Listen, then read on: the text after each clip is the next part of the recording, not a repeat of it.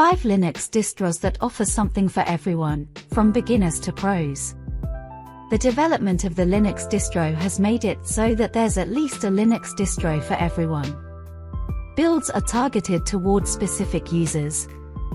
Some for businesses, gamers, and geeks, and some for users who've never touched any OS besides Windows. Hey everyone! Welcome back to the channel. If you're thinking about diving into the world of Linux but aren't sure where to start, you're in the right place. Today, we will explore 5 of the best Linux distributions for beginners. Each of these distros offers a unique approach to making Linux accessible, user-friendly, and efficient for newcomers. So, let's dive in. First on our list is Ubuntu.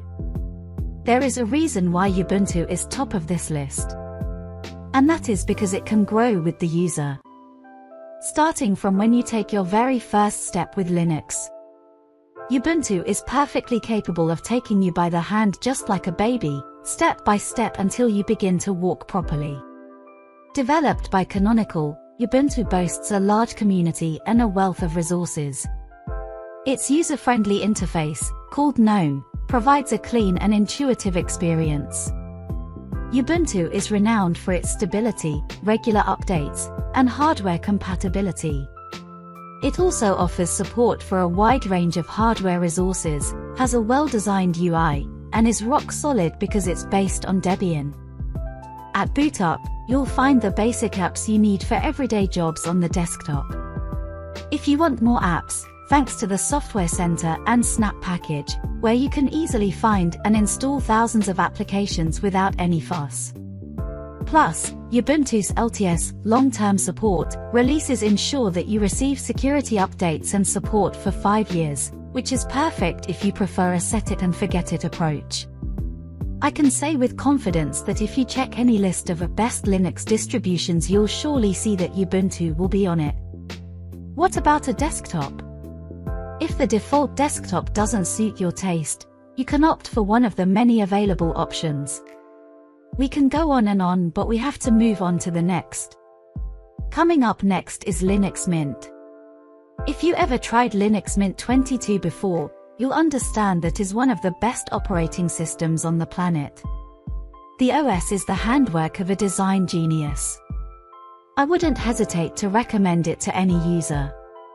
For those who are used to Windows OS, Linux Mint is often recommended due to its familiar interface.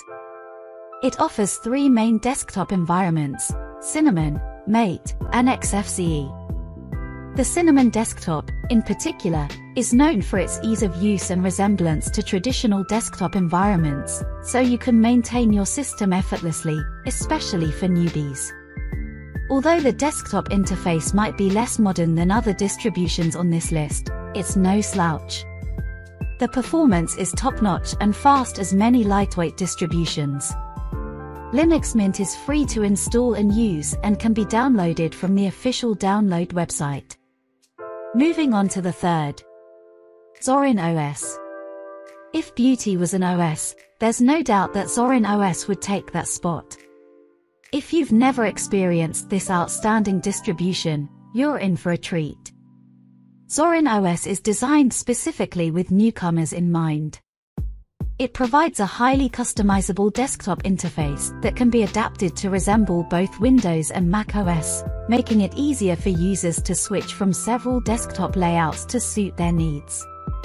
Some of these desktops include Plasma, GNOME, Ubuntu, and more.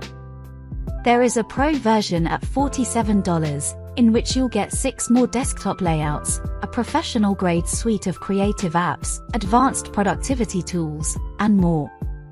Plus, Zorin OS includes a light version for older hardware. It comes with a set of pre-installed software that covers most of the basics you'd need, such as an office suite, web browser, and media players making it versatile across different machine specifications. Zorin is stable and reliable and comes third on the list.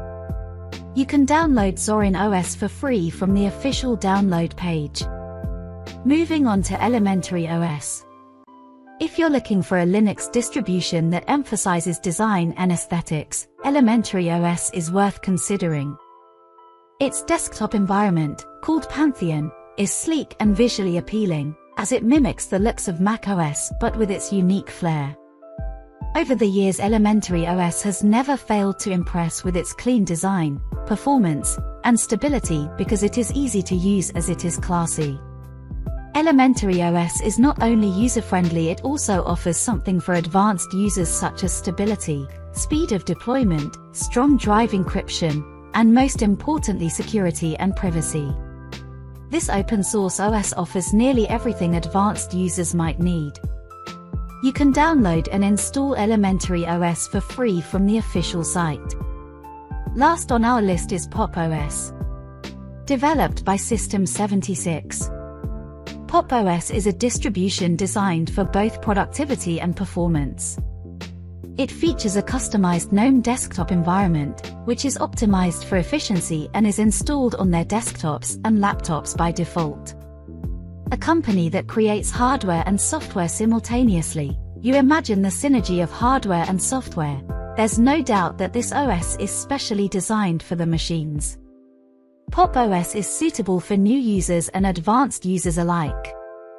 For newbies, it includes the GNOME desktop customized in a way to make it feel more familiar.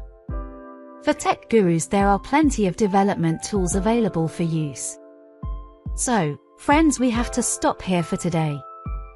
These are a few of the many Linux distros to cater to beginners and pros alike. Ranging from Ubuntu stable and has a broad user base, Linux Mint familiar Windows-like environment for Windows users, Zorin OS smoothly transitions from other operating systems, Elementary OS which stands out with its elegant design, and finally Pop! OS Perfect, a robust and performance-oriented system. Choosing the right distribution can make your journey into Linux much smoother. Each of these distros has its strengths, so the best choice depends on your personal preferences and needs. If you enjoyed this video, make sure to give it a thumbs up and subscribe for more content on Linux and tech drop your questions or thoughts in the comments below. Thanks for watching, and I'll see you in the next video.